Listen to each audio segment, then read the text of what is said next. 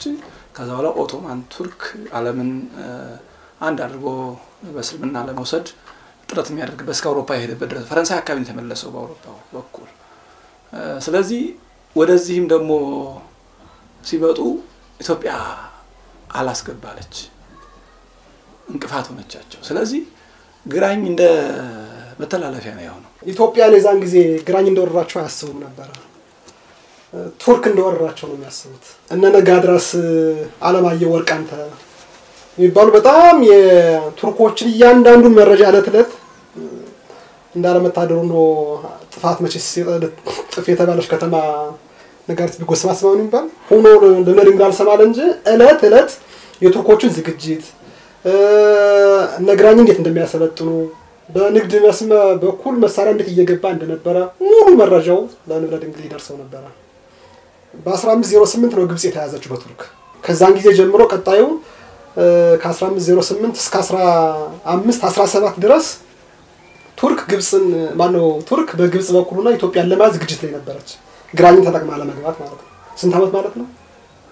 ዘጠኝ ዓመት ዘጠኝ ዓመት ግብጽ ላይ ተቀምጣ ደንበሮች ቦርደሮችን እየያዘች ግራኝን ታሰለጥን ነበር። ያን እያንዳንዱን እለት እለት እያንዳንዱን መረጃ ኮከቤ ማን ነው ነጋድራስ አለማየሁ ወርቃንተ እለት እለት ለአጼ ምኒልክ ያደርስ ነበረ። አጼ ምኒልክ ያዘው የነበረው ጦር መሳሪያ ማን ነው የነበረው ሰራዊት እጅግ በጣም ዘመናዊ ሰራዊት ነበረ። በአባቱ በአጼ ናኦድ የተገነባ ነበረ እና ከዛ በኋላ አልጨመረም። ጠላትም ጠፍቶ ነበሩ። አጋጣሚ የአባቱን ጥሩ ደግ አባት ስለነበሩ እና እሱ ነገር በጣም አዘናገው። ልጅም ነበረ አዘናገውም። በምክር ቤቱ የሚወሰኑ ምክር አይሰማም፣ የሚመጣለትን መረጃም አይቀበልም። በኋላ እንደው ችግር ደርሶበት ሲጸጸት ራሱ እግዚአብሔር መንግስቴን ባይወዳትና ቢጠላት ነው እንጂ መልካሙን ነገር እኮ አያስጠላኝም ነበረ እያለ መጨረሻ ላይ ይጸጸት ነበረ እና ያ ዘጠኝ ዓመት በሙሉ ሳይዘጋጅ ቆየ። በግራኝ እኮ የተካሄደው ጦርነት በቱርኮች መሳሪያ ነው። መሳሪያ ብቻ አይደለም፣ idea ideology ያላቸው ሰዎች፣ አማካሪዎች፣ የጦርነት በቅሎ፣ ፈረስ፣ ግመል ሳይቀር የጂሃድ ባንዲራ ሳይቀር ነው ይመጣል። ከእሱ ጀርባ ታዝለው የመጡት አላማቸው የክርስቲያን የሚባለውን አርማ በሙሉ አጥፍቶ ትልቅ empire የቱርክ empire የኦትማን ቱርክ empire መገንባት ነው የነበረው አላማቸው እንጂ ግራኝም ከጨረሰ በኋላ እንደማይቀጥል ግልጽ ነበር። ምክንያቱም የቱርክ ፍላጎት እንደዚያ ስለነበረ ማለት ነው። ከአስረኛው እስከ አስራ ሶስተኛው ዘመን በአውሮፓ የነበረውን የሮምን ግዛት በሙሉ አጥፍተው የ Islamic empire መገንባት ስለነበረ ህልማቸው የቱርክ ወራሪ ኃይል ነው ሀገሪቱን የወረራት እንጂ ግራኝ ማህደር ነው ማደሪያ ነው። እና ሌላ ባይድ ነው የወረረን ማለት ነው። በዘመን ሂደት ዓለም የጦር መሳሪያዋንም አሳድጋለች። በግራኝ ጊዜ አዳዲስ መሳሪያዎች ታይተዋል ኢትዮጵያ ላይ። ኢትዮጵያ ያው ያን የነበረውን ዱላ ጦርና ሰይፍ ብቻ ነው ጎራዴ፣ ከዛ ውጭ ያለው እና ቱርክ ረጅም ጊዜ ልምድ ያለው ብዙ ሀገሮችን በማጥፋት የእነ ቅዱስ ጳውሎስ ያስተማሩባቸውን ሀገሮች ራሱ ቱርክ የተባለውን ሀገር ቱርክ እና ዩጎዝላቪያ እኮ ናቸው በርካታ የቅዱስ ጳውሎስ የሀገር ስፖርቶች አሁን ጠፍተው የቀሩት። እነሱም በሙሉ በማጥፋት ብዙ ስትራቴጂ ያለው ኃይል ስለመጣ ያን የማጥፋት ስትራቴጂያቸውን ተጠቀሙት እዚህ ሀገር ላይ እና በጣም አጠፋው። ወርቅ ከኢትዮጵያ ይታፈሳል እያሉ በጣም በርካታ ግብፃውያን፣ በርካታ ቱርካውያን፣ በርካታ ህንዳውያን በሙሉ ጦርነት ተሳትፈዋል። በግራኝ ጦርነት ማለት ነው። መሳሪያቸውን ይዘው የሰለጠነ የጦር ሰራዊት መጥቶ ታንክ ተኳሽ፣ መድፍ ተኳሽ ነበር። ባርነት የሚባል ሰውን መሸጥ ኢትዮጵያ ለመጀመሪያ ጊዜ ያስገባ ግራኝ import ያደረገ ግራኝ በውጭ ዓለም ባርነት የተለመደ ነው። በውጭ ዓለም ባርነት የተለመደ ነው። በኢትዮጵያ ግን ሰው ክቡር ነው። ማንም ባሪያ አይሆንም። እዛ በፊት የነበረው ታሪክ ማለት ማንም ለማንም ባሪያ አይሆንም። አብሮ ያገለግላል። ያለቃ እንትን ግን አለ ተዋረዳለ hierarchical ነው እና ሚናስ ራሱ የልብነ ድንግል ልጅ ሚናስ ራሱ ተማርኮ ተሽጦ ነበር። ከዚያ በኋላ ግላውዲዮስ ሲነግስ የባርነትን አዋጅ ከለከለ። የባርነትን ማንም መሸጥ መለወጥ እንዳይችሉ ከለከለ። አዋጅ አውጥቷል አለው። ከዛን ጊዜ ጀምሮ እስከ ማን ድረስ እስከ አጼ ምኒልክ ድረስ ደረሰ። ባርነትን መሸጥ መለወጥን እየተዋጉት ማለት ነው። እየተዋጉት introduce የሆነ የዛን የገባብን በዛን ጊዜ ዘመን ከዛ በኋላ ብታይ በጣም በርካታና አባጅፋርን በጣም ብዙ ባሪያዎችን ወደ እንትን ሽጠዋል። ወደ ሳውዲ አረቢያ ልከዋል። ኢትዮጵያን ባሪያዎች አረፋቂ የዛን ጊዜ የነበረውን ዘረፋ ሲናገር ይንታ በጣም ነገር ቅድም ነግረውናል። ኢትዮጵያ ይህን ያክል ሀያል ሀገር ማለት ነው፣ ይህን ያክል ባለሀብት ሀገር ነበረች ወይ ያሰኛል። እግረ ደረቁ ነው የሚሆን መሰለኝ። ከዛ በኋላ እንደው እያጠረብን መጣ እንጂ እግዚአብሔር አብ ሲዘረፍ ይላል ሲዘረፍ ይሄ ሐይቅ እስጢፋኖስ አካባቢ ያለው እግዚአብሔርም በዚህ አካባቢ ያለው ደብረ እግዚአብሔር ደብረ እግዚአብሔር ደብረ ጊዜ እሱ ሲዘረፍ የነበረው የወርቅ ክምችት መቶ ሀምሳ ሰው በሚሸከም ጀልባ ሶስት ጊዜ ነው የተመለሱ። ያን እየዘረፉ ሶስት ጊዜ ይህን የጻፈው አረፋቂ ነው። ሶስት ጊዜ ያ የተረከበው ለማን የተከፋፈለው? እዛ ውስጥ ለጦርነቱ ለተሳተፉ ለቱርካውያን፣ ለግብፃውያን፣ ለህንዳውያን እና ለዚህ ለግራኝ ለሰበሰባቸው ደግሞ የመንደር እንትኖች ነው የተከፋፈለው። ሶስት ጊዜ መቶ ሀምሳ ሰው በሚሸከም ጀልባ ነው ዘረፋው የተከናወነው። አላልቅ መጨረሻ ላይ ሰዓት ለቀቁበት። አረፋቂ ነው የጻፈው ለንጉሱ የሚገባው ግብር የነበረው በዛን ጊዜ የነበረው ከጎጃም ብቻ እንኳን የመጣው ሰላሳ በቅሎ ጭነት ወርቅ ይገባል እና እየመጣ ዋሻ ውስጥ ነው የሚጨምር የነበረ። ይህን ያክል በጣም ሀብታም የነበረች ሀገር ነው።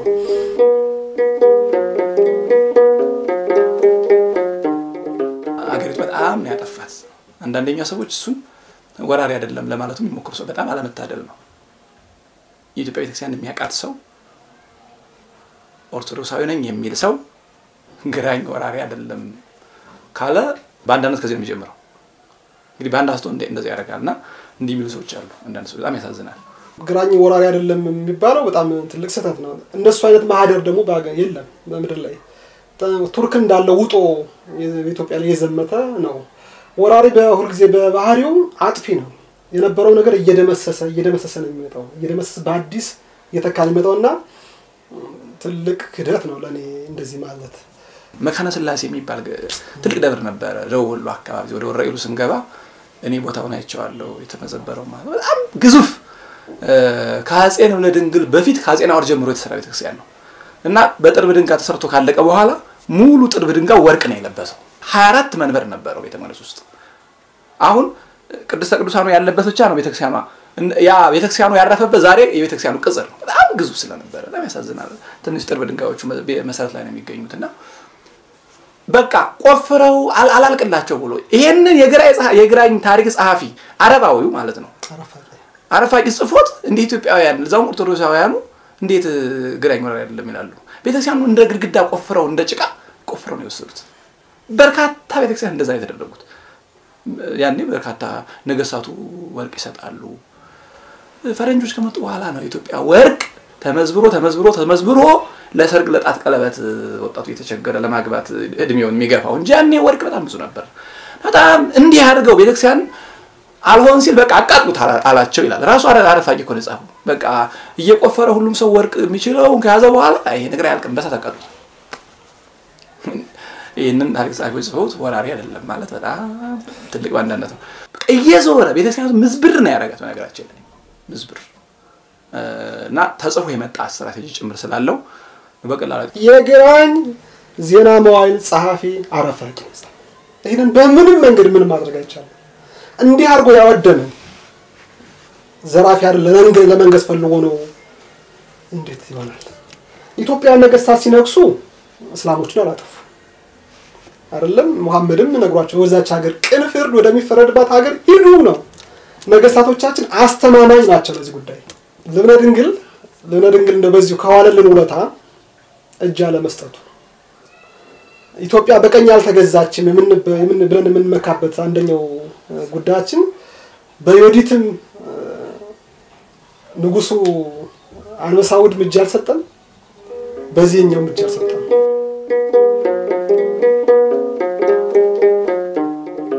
ሆነ በሱ ዘመን በጣም ብዙ እሳቸውም ይገልጹታል። የማስታወሳቸውን ባንዳዎችም አርበኞችም ተፈጥረዋል። በዛ ጊዜ የሚገርሙ የሚገርሙ ባንዳዎችም የሚገርሙ የሚገርሙ አርበኞች ከክፉ ወደ በጎ ጥሩ ነው እና ከባንዳ ትዝ የሚለኝ አንድ ኮከቤ መላኩ ነው የሚባለው ኮከቤ መላኩ የሚባል የሚገርመው ኮከቤ መላኩ ከአፄ ንብለ ድንግል ቤተ መንግስት የነበረ ነው እና ቀለበት ሰርቆ የወርቅ ቀለበት ጠፋ። ወደ ግራኝ ሄዶ ሰለመ። already የግራኝ ምስጢር አቀባይ ሆነ። ግን የንጉሱ አማካሪዎች መልምለው የላኳት አንዲት አርበኛ ነበረች። ስሟ ብርቄ ነው። ጠጅ አሳላፊ ነበረች በንጉሱ ቤት። ኋላ ዘይነብ አስማኤል የሚል ስም ተሰጣት እና አንደኛ በአጋጣሚ አፋርኛም ሶማሊኛም ትችላለች። ስለዚህ ወደዛ ወደ አፋር ስትሄድ በጣም ሁለቱም ቋንቋ ስለምትችል ትመቻለች ለመረጃ በጣም ጎበዝ አርበኛ ናት። የንጉሱ ጥሩ ጥሩ አማካሪዎች ነበሩ። እነሱ ናቸው የላኳት መልምለው አሰልጥነው እና እለት እለት ግራኝ ምን እንደሚያስብ ምን እንደሚሰራ ምን ሊሰራ እንዳሰበ እየአየች ትልካለች ወደ ማዕከላዊ መንግስቱ። ግን አፄ ምኒልክ አትጠቀምበትም መረጃውን አየው ልጅ ስለሆነ እና እንዲህ እንዲህ እያደረገች ስትሰራ ሰማዕትነት ነው በነገራችን ላይ ችል እየሰራች ያለችው እና ያኮከብ የመላኩ የሚባል ባንድ አያት። እንዲህ እች እኮ አፄ ምኒልክ ቤተ መንግስት ዋና ጠጅ አሳላፊ ናት አለ። አስገደላት። ኮከቤ ያገኘው እንትን ወርቅ ቀለበት ነው፣ የንጉሴ ክብሮ ቀለበት ነው። በኮከቤ አእምሮ ውስጥ ቀለበቱ ከሃይማኖት በልጧል፣ ከሀገሩ በልጧል፣ ከክብሩ በልጧል። በጣም ደስ የምትለኝ ደግሞ አንዲት ሴት ስሟ እንደዘነጋት ነው። ስሟን ያስታውሷታል? አባሳሉ ተማርካ ሄደችው። ተማርካ ሄደች። በጣም ብልጥ ስለነበረች ለአንድ የጦር መሪ ሰጧት። ይከፋፈላሉ እነሱ ያው ብዙ ማግባትም በባህሪው ትምህርታቸው ስለሆነ ተከፋፈሏቸው እና እሷ ለእሷ የደረሳትን የጦር መሪ በቃ ቶሎ ሃይማኖቴንም አስልመኝ እንዲህ ያርገኛለችው። እሺ ከዛ ከሚፈልገው በላይ ሆነችለት፣ ከሚፈልገው በላይ ከዛ እኔ ከአንተ ጋር ዘምታለሁ አለችው። ግን እኔ የሴት ልብስ አንተ የወንድ ልብስ ለብሰን ስንሄድ ደስ አይልም። ግድ የለም የጦር ልብስ አለብሰን የጦር ልብስ አለበት ሁሉን ነገር አስታጠቃት አስታጠቃት። ከዛ በኋላ መከረቻቸው ጓደኞቿን ሲሆን ሌላ ትገላላችሁ፣ አለዛ ከእናንተ ጋር የሚተኛውን አንድ አንድ ወራሪ ገላችሁ ትሞታላችሁ አለቻቸው። ከዛ በኋላ ባደሩበት በሙሉ ማራኪዎቻቸውን ገለዋቸው አደሩ ሴቶቹ። ከዛ ግን ያው በብዙ ስቃይ ነው የገደሏቸው። ምንም ማለት አይደለም። መስራት ያለባቸውን ሰርተው ስለሆነ የሞቱት እንደዚህ አይነት አርበኞች ሴቶች እኮ ናቸው እነዚህ ሳይፈልጉ ተማርከው ለሌላ ሚስት እንዲሆኑ መቼም ምንም ይሁን ሳይፈልጉ እንኳን በሃይማኖት ሳይመሳሰሉ በሃይማኖት ቢመስልህም ተማርከህ ገሌን አግባ ገሊትን አግባ ከተባለ አንድ ሰው የሞት ሞት ነው። ለማይፈልጉት ሲሸጡ በዛ መንገድ አርበኝነታቸውን የተወጡ ሴቶችም አሉ። በዛ በግራ ይዘው በጣም በጣም ብዙዎች ናቸው። የማስታወሳቸው እሳቸው ይጠቅሷቸው። አዳሉ ተሰማ የሚባል የባሌ አካባቢ ገዥ ሆኖ ንብለ ድንግል የተሾመ ነበር እና ንብለ ድንግል ሸሽተው ወደዚህ ወደ ሀገር ሲመጡ ወደ ላይ ወደ ሲሄዱ ሁለት አይነት እሱ ጦር አዘጋጅቶ ይዋጋ ነበር። እጅግ በጣም ጥሩ አርበኛ ነው እና እሱ ሁለት ፈተናዎች ይመጡበት። አንደኛው ከቤተሰቦቹ ነው። ሌላኛው ደግሞ ከአንድ ባንዳ ከሆነ ስሞን ከሚባል ክርስቲያን ነበረ ገዛ ለቤተሰቦች ብሎ የሰለመ ሰው የመጣበት ፈተና ነው።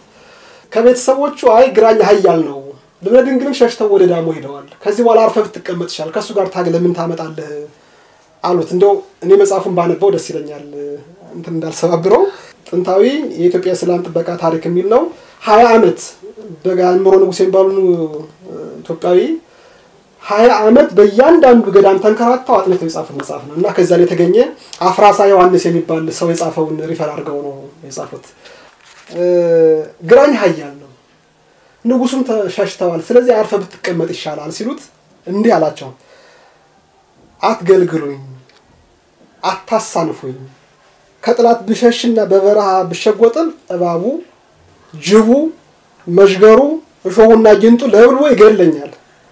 የምሰልፈው ለሚስትና ለልጆች አይደለም ለሀገሬ ነው። ኢትዮጵያ ብዙ ጀግኖች ነበሩባት።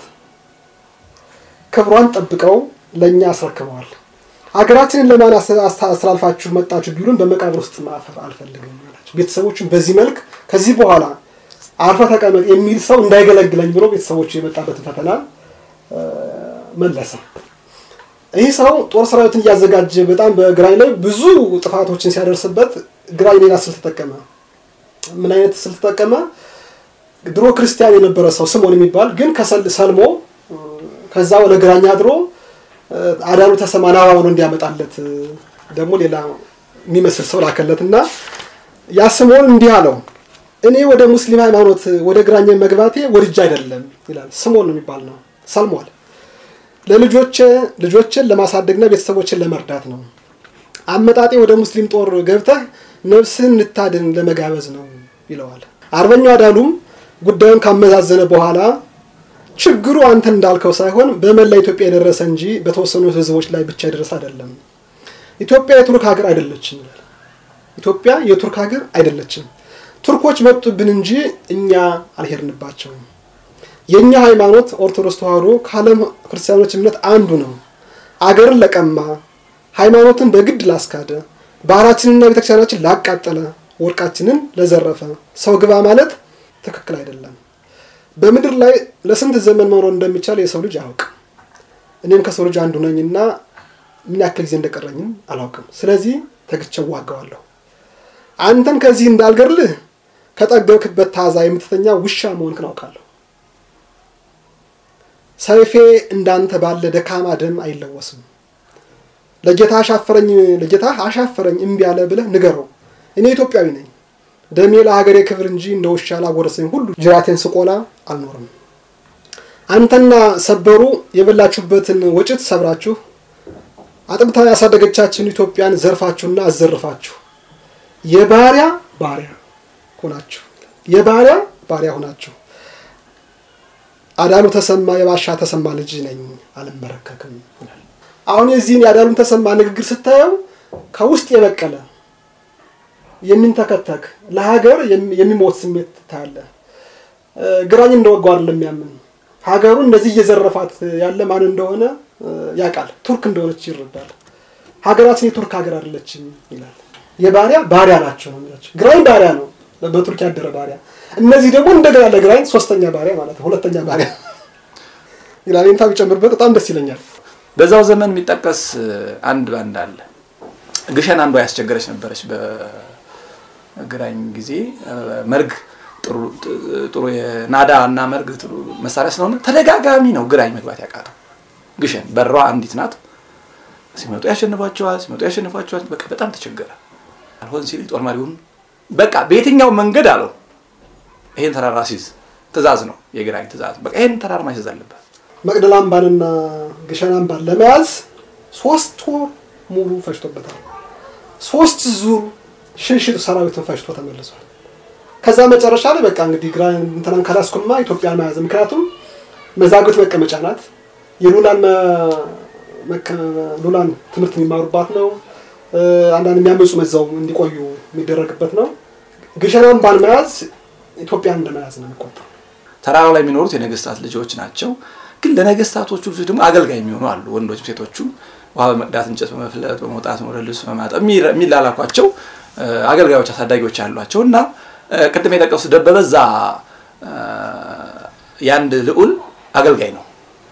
ስለዚህ በውስጠ ምስጢር የግራኝ የጦር አዛዥ ደበበን አገኘው እና መለመለው፣ ለሱ agent አድርጎ መለመለው። ኢዩዋስ ይባላል። የኢዩዋስ አገልጋይ ነው። ኋላ ቀላል አይደለም ደበበ ለተላከበት ሰው አይ እናንተ እኮ ለመድፍ ተኳሽ ለዚህ ለዚህ ትልልቅ ገንዘብ እንደምትከፍሉ አውቃለሁ እኔ ዝም ብዬ ወዳጅ እንሆን ስላልከኝ ብቻ ወዳጅ አልሆንም። ለእነሱ የምትከፍሉትን ገንዘብ ከከፈላችሁ በአንድ ጊዜ ግሸን አምባን ሲይዙ አደርጋችኋለሁ። ምስጢሩ በእጄ ነው አላቸው። ከዛ ውጭ ግን ሺህ ጊዜ ብትዋጉ ግሸን አትይዙትም አላቸው። አንድ ሺህ ብር በወሩ ለህንዶችም ለቱርኮችም ለግብጾችም እንደምትከፍሉ አውቃለሁ ነው ያላቸው። አንድ ሺህ ብር እና በየወሩ ደግሞ መቶ መቶ ወቄት ወርቅ እንደምትጨምሯቸው አውቃለሁ እና እሱ ከሰጣችሁን ችግር የለም አላቸው። አይደበበ እንግዲህ የግሸን ደብረ ከርቤ የማርያምን ማለት ነው የእመቤታችንን ጉዳይ ለሱ ምኑም አይደለም፣ ምኑም አይደለም። እዚያ የነበረው ክብር በሙሉ ለሱ ምንም አይደለም። አንድ ሺህ ብርና እዛም ስንት ዓመት የተከማቸ ቅርስ፣ ሃይማኖታዊ ጉዳይ፣ ቅርስ፣ የሀገር ክብር ለደበበ ነው። አንድ ሺህ ብር ያን ሁሉ ብሩ ተላከለት። ከዛ በኋላ ዛሬ የግሸን አምባ ላይ ቅዱስ ገብርኤል ባለበት አካባቢ ስርጥ ጎዳና አለች እና በዛች በኩል እንዲመጡ አደረጋቸው። ማንም አያውቅም ደበበ የማድረጉን መልእክት ብቻ ነው በቁራጭ ወረቀት የላከላቸው። ስለዚህ ሰራዊቱ አርበኛው በዋናው በር ዛሬ ግሸን በምንገባበት በር በምስራቅ በኩል አሰብስቦ ሲጠበቅ ጠላት ከኋላ መጥቶ ከበባቸው። ጠባቂ እንኳን አልተቀመጠበትም። ማንም ሰው አያውቀውም ተብሎ ስላታሰበ ያችን ስርጥ ጎዳና ባንዳ ግምግም ነው። ጓዳህን ያሳያል። በቃ ጓዳ ነው። አሁን የባንዳ ክፋቱ ከኛ ስለሆነ የወጣው ከኛ ወጡ የኛ ግን አይደሉም ይላል ቅዱስ ዮሐንስ ስለ መናፍቃን ሲናገር፣ የኛማ ቢሆኑ ከኛ ጋር የጸኑ ነበር። ከኛ የወጡ የኛ ያልሆኑ ናቸው እንዳለው ባንዳ እንደዚህ ነው። ከኛ የወጡ የኛ ያልሆኑ ግን የኛን ጓዳ የሚያውቁ ናቸው ባንዳዎች። ብዙ የውስጥ ጠላት የሚከፋው ለዚህ ነው። ምን እንዳለ ምን እንደሌለ በደንብ ያውቃል። እና በጦርነት ህግ ባንዳ መመልመልም ህግ ነው የቀረው ከዚያ በኋላ ስለዚህ ሰተት ብለው መጥተው አንድ የሆኑ ፈጇቸው እዛ ያሉት የነገስታቱ ልጆች አንድ ሰው ሳይተርፉ አምባውን የሚጠብቁ አምስት መቶ ሰራዊት አንዴ ለዘር ሳይተርፍ እንኳን ያስጨፈጨፈ ስታስቡ የሚያም ነገር ነው። ለአንድ ሺህ ብር ብሎ ማለት ነው። በኢትዮጵያ ለሚዛቀው ወርቅ እንደፈለክ ለሚታፈስን ለመቶ ወጭት ወርቅ ነው። ያን ሁሉ ሰራዊት አስፈጅቶ ያን ሁሉ እንትን አቃጥሎ በጣም ደስ የምትለኝ ደግሞ አንዲት ሴት ስሟ እንደዘነጋት ነው። ቆይ ስሟን አስታውሷታል? አባሳ ሎቶ ተማርካ ሄደችው። ተማርካ ሄደች። በጣም ብልጥ ስለነበረች ለአንድ የጦር መሪ ሰጧት። ይከፋፈላሉ እነሱ ያው ብዙ ማግባትም በባህሪው ትምህርታቸው ስለሆነ ተከፋፈሏቸው እና እሷ ለእሷ የደረሳትን የጦር መሪ በቃ ቶሎ ሃይማኖቴንም አስልመኝ እንዲህ ያድርገኛለችው። እሺ ከዛ ከሚፈልገው በላይ ሆነችለት፣ ከሚፈልገው በላይ ከዛ እኔ ከአንተ ጋር ዘምታለሁ አለችው። ግን እኔ የሴት ልብስ አንተ የወንድ ልብስ ለብሰን ስንሄድ ደስ አይልም። ግድ የለም የጦር ልብስ አለብሰን የጦር ልብስ አለበት ሁሉን ነገር አስታጠቃት አስታጠቃት። ከዛ በኋላ መከረቻቸው ጓደኞቿን ሲሆን ሌላ ትገላላችሁ፣ አለዛ ከእናንተ ጋር የሚተኛውን አንድ አንድ ወራሪ ገላችሁ ትሞታላችሁ አለቻቸው። ከዛ በኋላ ባደሩበት በሙሉ ማራኪዎቻቸውን ገለዋቸው አደሩ ሴቶቹ። ከዛ ግን ያው በብዙ ስቃይ ነው የገደሏቸው። ምንም ማለት አይደለም። መስራት ያለባቸውን ሰርተው ስለሆነ የሞቱት እንደዚህ አይነት አርበኞች ሴቶች እኮ ናቸው እነዚህ። ሳይፈልጉ ተማርከው ለሌላ ሚስት እንዲሆኑ መቼም ምንም ይሁን ሳይፈልጉ እንኳን በሃይማኖት ሳይመሳሰሉ በሃይማኖት ቢመስልህም ተማርከህ ገሌን አግባ ገሊትን አግባ ከተባለ አንድ ሰው የሞት ሞት ነው። ለማይፈልጉት ሲሸጡ በዛ መንገድ አርበኝነታቸውን የተወጡ ሴቶችም አሉ። በዛ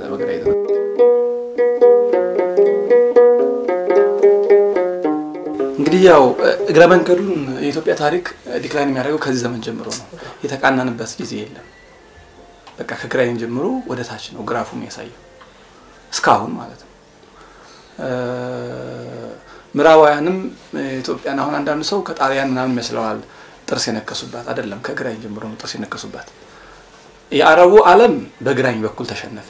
ምዕራባውያን ደግሞ ግራኝን ለማስወጣት ለገዛ መጡ። ጥቂት ናቸው የመጡት። አገዘውናል። already ጥሩ ነው ግን thank you ብለን እናሰናብታችሁ ቢሏቸው አገር ቆርሳችሁ ስጡን፣ ሃይማኖታችሁን ካቶሊክ አድርጉልን የሚል ጥያቄ የሀገራችን ባንዲራ እንስቀል ምን ያመጡ አሉ።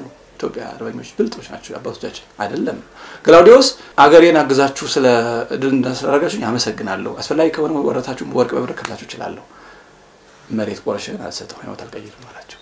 አርበኝነቱ ከዚህ ነው። ከዛ በኋላ ሊቃውንቱም በደንብ እንደውም ትንሽ የበቁትም እንደነ አባ ዝክሪና እንደነ አባ ጳውሊ ያሉ አባቶች እነዚህ ሰዎች መልአከ ብርሃን አድማሱ ጀንበሬ መሎት አሜን የሚለው መጽሐፋችን መቅደሙ ላይ ጽፈውታል። ትንቢት ነው የተነገረው። እነዚህ ሰዎች በሀገራችን ከቆዩ አደጋ ይደርስባታል። ልጆቻችን ልጆቻቸውን ያገባሉ። ከዛ በኋላ እነዛ ልጆች የአባቶቻቸውን ሃይማኖት እየተማሩ ያድጋሉ። እየቆየ ይቀላቀልና ያጠፉብናል። ታሪካችን ባህል ሃይማኖትን ያጠፉብናል። እንደውም ይህ አይቀርም። ከዛሬ ከገላውዲዮስ አንድ ተብሎ በአምስተኛው ንጉሥ ይፈጸማል። እነዛ አባቶች አምስተኛው ማለት ሶስት ነው የወሰነው ከገላውዲዮስ ጀምሮ ሲቆጠር ወደ ካቶሊክነት እንዲቀየር ያደረገው ሁለት ስጋቶች ነበሩት። አንደኛው የቱርክ በዛ በኩል መምጣት፣ በምጽዋ በኩል ቱርክ እየቀረበ መጥቶበት ነበረ እና መሳሪያ ያስፈልገው ነበር። የግራኝ ነገር እንዳይደግም ብሎ ስለፈራ መሳሪያ ያስፈልገው ነበረ። ሁለተኛው ደግሞ አቡነ ጴጥሮስን ከግብፅ የመጡትን ጳጳስ አርበኛ ጳጳስ ናቸው ነገራችን ላይ እያዋጉ ስለሆነ በጦር ሜዳ እንዲገደሉ አስደርጓል እሱ። ስለዚህ የኢትዮጵያን ጳጳስ ስላስገደለ ህዝቡን ፈራ። ስለዚህ ጦር መሳሪያ ማግኘት ፈለገ። ነጮች ደግሞ ትልቁ ተንኮላቸው ወደ ኢትዮጵያ በአራት መንገድ ይገባሉ። ከገቡ በኋላ የሚያደርጉት አንደኛ የውጩን ዓለም የቃል ኪዳኗ ምድር አድርጎ ማሳየት ነው፣ ማማለል ነው። ነገስታቶች ይመጡና ከአውሮፓ ሀያላን መንግስታት ጋር እናገናኛችሁና የጦር መሳሪያ እናመጣላችሁ፣ ጠላታችሁ ታጠፋለሁ እያላችሁ ያማልሏቸው ነበር። ፈረንጆች ናቸው በብዛት ለመኳንንቱም ቀራቢ፣ ለንጉሱም ቀራቢ፣ ለህዝቡም ቀራቢ፣ ለካህናቱም ቀራቢ ይሆናሉ። ከዛ በኋላ ንጉሱን ከካህናቱ ካህናቱን ከህዝቡ ህዝቡን ማጣላት ይሰራሉ፣ ያስወራሉ። እንዲህ ንጉሱ እኮ ካቶሊክ ሆነ ይላሉ። ከዛ ካህናቱ ደግሞ እንዴ ይሄ ንጉስ ካቶሊክ ሆነ ጸብ አጼ ሚናስ ነው የሚገርም ጸብ ፈጥረውበታል። ሚናስን እና ሚናስን እናቱ ናት አይደል? እናት ስለዚህ እናትን ሻርና ንግስት አድርግ እንጂ ሚስትህ እንዴ ነው። በእኛ ሀገር ሚስቱ ንግስት ካልተባለች ንጉስ አይባልም አሉት። እውነት መስሎት እሱ ደግሞ ይህን ሲያስብ ገና ሳይፈጽመው ሄደው ለሊቃውንቱ ይሄ ንጉሳችሁ አደገኛ ነው አሏቸው። ይኸው እቴጌ ሰብለ ወንጌል በህይወት እያለች ንግስትነቱን ቀምቶ ለሚስቱ ሊሰጣት ነው። በአንድ እንግዲህ እንደዚህ ነው ሊሰጣት ነው። ቆይታ ያላችሁ አሁን ይህን ስርዓት ያደርገዋል አላቸው። ከዛ በኋላ ሊቃውንቱ አይ ይሄ ንጉስ ይህን ያህልማ በህይወት እያለች እናቱ ናት። እሷን ሽሮማ ካደገ እንጣለዋለን ሲሉ ቶሎ ቶሎ ከንጉሱ ሂደው ነገስታቱ ካህናቱ እየመከሩበት ነው ብለው ደግሞ ለንጉሱ ከዛ በኋላ ንጉሱ በቁጣ ተነሱ። በርካታ አባቶች ብዙ ግፍ ፈጸመባቸው። አይናቸው የጠፋ እጃቸው የተቆረጠ ሁሉ አለ፣ የሞቱም አሉ በዛ ዘመን ማለት ነው። እንግዲህ እንደዚህ አይነት በተለይ በቃ የመጨረሻ የሴራውን ባንዳ ያስለመዱት ፈረንጆች ናቸው ለኢትዮጵያ። እንዲህ እያደረጉ እያጣሉ እያጣሉ ያው ሱስንዮስን ደለሉት። አሁን ካቶሊክ ብትሆን እኮ አንተ ከውጭ የሚመጣል የጦር መሳሪያ ከውጭ የሚመጣል እንደዚህ በዓለም ካሉ ሀያላን ነገስታት ትሆናለህ። በጣም ብዙ ደለሉት። ሴራ የሚባል ነገር ኢትዮጵያን አያውቁ። ንጉስ ታማኝ ነው፣ ህዝብም ለንጉስ ታማኝ ነው። ንጉስ ሲነግስ ቃል የሚገባው ሶስት ነገሮችን ቃል ይገባል። አንደኛው ቃል የሚገባው ሲቀባ ነው። ሲቀባ የህዝብ እንደራሴዎች፣ የገዳማት ተወካዮች በተገኙበት ሲቀባ ሀገር ከወራሪ ደንበሯ እንዳይደፈር መጠበቅ አንደኛው። ሁለተኛው ሃይማኖት ማስፋት ነው። ልክ እንደነ አጼ ገብረ መስቀል አምስት መቶ ቤተክርስቲያኖች እንዳያስገነቡት አይነት ማስገንባት ነው። ሶስተኛው ግን ቅን ፍርድ እንዲያሟላ ነው። እነዚህ ሶስቱ እንዲጠብቅ በህዝቡ መካከል በተከበሩ አባቶች ፊት ቃል ይገባል እና ያን ቃል ጠብቆ ይኖራል። እሱን ቃል ካልጠበቀ ኪዳነ ዳዊት ይፈርሳል። የኢትዮጵያ ሃይማኖት ካቶሊክ ነው እንዲህ አዋጅ ንገር አሉት። አንተም በይፋ ተጠመቅ አሉት። እነዛ ኢየሱሳውያን አጠመቁት በይፋ እሱ ከዚ በኋላ በግድ እንግዲህ ኢትዮጵያውያን ማንኛውን የመጡትን ሌላ ሃይማኖት የመጡትን በፍቅር ነው የሚቀበሉት። ኦርቶዶክሳውያንን የተወለደባቸውን ምዕመናን በግድ ካቶሊኩ ነው ብሎ አዋጅ ነገረ። በጣም ብዙ ሰው በግፍ ተጨፈጨፈ። በአንድ ቀን እስከ ስምንት ሺህ ሰው የሞተበት ጊዜ አለ። ደንቀዝ አካባቢ ማለት ነው። በአንድ ቀን ነው ስምንት ሺህ። ዘድንግል በጦር ሜዳ ገለውታል። አጼ ያዕቆብን ከንግስና ወርደው አስረውታል። የሚያሪያ ወስደው አስረውታል። ኢትዮጵያውያን ሃይማኖታቸውን ቀይረዋል ተብለው ነው። ንጉስ አይፈራም የኢትዮጵያ አርበኛ የሰማዕትነት ጠባይ ስላለው ንጉስ ነው ምናምን ሰው በሃይማኖት ከመጣብህ በቃ ንጉስ ነው የሚባል ነገር የለም። ማንም ሰው ቅዱስ መጽሐፍ ለተሾመ ሁሉ ተገዙ ይላል። ሃይማኖትህን ካድ ለጣዖት ስገድ ካለ ግን ንጉስ የሚባል ነገር የለም። ያን ጊዜ ይሄ ህግ አይሰራም። በዚህ ሰዓት ለተሾመ ሁሉ ተገዙ ማለት ሃይማኖትህን ካድ ለጣዖት ስገድ ሳይልህ እንደ መንግስት ካስተዳደረህ ችግር የለም። ሃይማኖትህን ካድ ለጣዖት ስገድ ካለ ግን ያንተ ንጉስ አይደለም። ይሄ ክርስትና መርህ እንደዛ ነው። በእርግጥ አሁን በ secularism አለማምደውናል። ይሄ እስካሁን ይሰጣል። ሰው ከዝንጀሮ መጣ የሚል ትምህርት ደግሞ እኮ ለዛው ሳይንሳዊ ማረጋገጫ የሌለው በወሬ የተሞላ ነው። theory በሙሉ ተራ theory ነው፣ የውሸት ቴዎሪ ነው፣ የውሸት ቴዎሪ ነው። ግን እኛ አልተቃወሙ። ይሄ ስንፍናችን ነው። አርበኞች አልሆንም ማለት ነው። የድሮዎቹ ግን በእንዲህ ያለ ነገር አይደራደሩም። ንጉሱን ተቃወሙት። እንዲህ ንጉስ ማለት እኮ በጣም አሁን ፕሬዚዳንት ጠቅላይ ሚኒስትር ከምንለው ጋር የሚገናኝ አይደለም። ምን እኩል ሱፍ ለብሰህ ነው ንጉስ? ያኔ እኮ ንጉስ ማለት አንደኛ ንጉሱ በጣም እውነተኛ ነው። ንጉስ አይዋሽም። ንጉስ ጥንቁቅ ነው። ንጉስ አይጨፍርም። ንጉስ ተራ ቦታ አይገኝ። በጣም ክቡር ነው ንጉስ። ንጉስ ክቡር የሆነ ያህል ህዝቡ ጋር በጣም ሞቸዋል። ህዝቡ እንደዛ ነው እና ያን ጊዜ ሃይማኖት ጉዳይ ሲመጣ ግን ከታሪክ ከባህል ሲወጣ በቃ አለቃ። አብዛኛው ኢትዮጵያዊ ግን በአርበኝነት ሰማዕትነት አያመልጥህ የሚለው ነገር የመጣው በኢትዮጵያ ያን ጊዜ ነው። ብላታቸው ተንቦቱ መመለስ አቃተው። ከዛ ፋሲል ነው ወደ ገዳማውን አባቶች ሂዶ እባካችሁ አባቴን አድኑልኝ ሲል እንዴት እናድነዋለን የኮተለከ ነው ተባለ። አይ ካዳናችሁልኝ የምትፈልጉት ነገር አደርጋለሁ ብሎ እንዲሁም የማህበረ ስላሴ አባ አምደ ስላሴ የሚባሉ ማህበረ ስላሴ ገዳም አምደ ስላሴ የሚባሉ ከአምስቱ አምደዎች አንደኛው ነው እና ከዚያ ሀያ አንድ ሁለት ሶስት ሱባኤ አድርሰው ነው ጸበል ጠምቀውት ተፈወሰ። ንስሐ ገብቶ ከዛ ቅድም ሁኔታ እንዳሉት ካቶሊክ ይፍለስ፣ ኦርቶዶክስ ትመለስ፣ ፋሲል ይንገስ ብሎ አዋጅ አወጀ እና ከቤቱም ውስጥ አርበኝነት ነበረ ከራሱ ህዝቦች ልጆች ጋር ማለት ነው። ንጉሱ ተቀሰፈ። ኋላ እንደገና ተሳስቻለሁ ብሎ ንስሐ ገብቶ ካቶሊክ ይፍለስ፣ ኦርቶዶክስ ይመለስ፣ ፋሲል ይንገስ ብሎ አዋጅ አስነገረ። የእግዚአብሔርም መቅሰፍት የአርበኛውም ጽናት እሱንም ወደ ተግሳጽ መለሰው። ንስሐ ገብቶ እንዲሞት አደረገው። ከዛ በኋላ ያው ፋሲል በእኔ ስርዓተ መንግስት በእኔ ዘመን አንድም የውጭ ሀገር ዜጋ ኢትዮጵያ እንዳይመጣ ህግ አወጣ። close door policy የምንለውን አወጣ። አንድም የውጭ ሀገር ዜጋ እንዳይመጣ ኢትዮጵያም ያሉት ይውጡ። አሁን አይቻልም እንደዛ። ምክንያቱም ልብሳችን ከቻይና፣ ጃኬታችን ከእንትና፣ ካልሳችን ከእንትና፣ ነጠላችንም ጭምር ከቻይና ስለሚመጣ የተመለመለ ግድ እንቀራለን። ያኔ ግን ምንም አይፈልጉም ከውጭ። አሁን አንዳንድ ሰዎች ኢትዮጵያ ኋላ ቀር ናት፣ የድሮ አባቶች ሳያሰለጥኗት እንዴ! ምን ማለት ነው? ጥገኛ የሆነው ያኔ ነው። ዛሬ ያኔ የሚለበሰውን ልብስ አለመልበሳቸው አይደለም አባቶቻችን መለካት ያለበት። ያኔ ከነበረው ዓለም ምንም አይፈልጉም ነበር። እኛ ግን everything ከውጭ ነው የሚመጣው። ስንዴ ሳይቀር እናመጣለን። ምን ደግሞ የማይመጣው አሁን ከውጭ? ኢትዮጵያ ውስጥ ያሉ ፋብሪካዎች እንኳን የሆነ የሆነ part አቸው ከውጭ ነው የሚመጣው። የሆነ የሆነ ኬሚካል ተጨማምሮበት ገበሬው ብቻ ነው በነበረው እንቁላል ከውጭ እያስገባን ነው። አረ ምንም አናስገባው ነው ጉድ ነው። ወደፊት እንጀራ ኤክስፖርት ወደ ኢትዮጵያ import ይደረጋል። ጤፍ ይገዛሉ። ልክ የጋምቤላን ቀርቀሃ ሽጠን ስንጥቅ እንጨት የጥርስ ማስታጠቂያ እንደምናመጣው ማለት ነው። ጥገኛ ስለሆን እኮ ነው። ራሳችን ችለን ብንቆም እኮ ይሄ ስልጡን አሁን ሰለጠን ይላል። ምን ስልጡን ነው? ጥገኛ ነው የሆነው ትምህርቱ። ጥገኛ በጎግል ተጠግቶ ነው ይሄ ዶክተር የጎግል ጥገኛ ነው። ከራሱ ምንም ነገር አያውቅም። አንድ መጽሐፍ ሳያንጠለጥል አውራ ብትለው አምስት ደቂቃ ያወራ ጥገኛ ነው። ሁሉ በሁሉ ነገር በትምህርት ጥገኝነት ነው፣ በጤናው ጥገኝነት ነው። ምን ለማን በሁሉም ሴክተር ጥገኞች ነን። ፋሲሊያን አወጣ፣ አርበኛው አለ፣ ሊቃውንቱ አለ። የፈለሰውን የተበላሸውን እንደገና አስተካከሉት። ሀገሪቱ ፎ ያለች ትንሽ ጊዜ ለዛ ነው ሴትል አደረገ። ቤተ መንግስቱ በነገራችን ላይ አንድ ቦታ እንዳይሆን ተደርጎ ነበረ። በአንድ አየር ብዛት ሲመጣ ከላስታ ከነ ቅዱስ ላሊበላ ጀምሮ እኮ ሙቤብል ነው ቤተ መንግስቱ።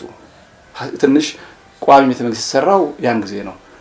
ለምን ጠላት ከውጭ ስለሆነ በብዛት ኢትዮጵያ ጠላቶች ውጮች ስለሆኑ ያንን ሲዘጋው እፎ ያሉ ቁጭ ብሎ ቤተ መንግስት ሰሩ። ደርቡሽ ያፈረሳቸው እንጂ በርካታ አድባራት ተሰሩ። ኦሪት ወደ ኢትዮጵያ ሲገባ ጸብ አልነበረም አይደለም። አዲስ ኪዳንም ወደ ኢትዮጵያ ሲገባ ጸብ አልነበረም። ካቶሊክ ወደ ኢትዮጵያ ሲገባ ግን አስራ ሰባት አመት ጦርነት ነበር። ምክንያቱም ምን ስለሆነ ኦሪትም ይጠበቃል፣ ህግ እግዚአብሔር ነው ይጠበቃል። ሐዲስ ኪዳንም በጽኑ ይጠበቅ ነበረ እና የምስራች እንደተፈጸመ ማንም ሀገር ሳይሰማ ኢትዮጵያ ቀድማ ሰምተዋለች። ያንን የምስራች ምንም ደም ሳይፈስ ተቀብለዋለች።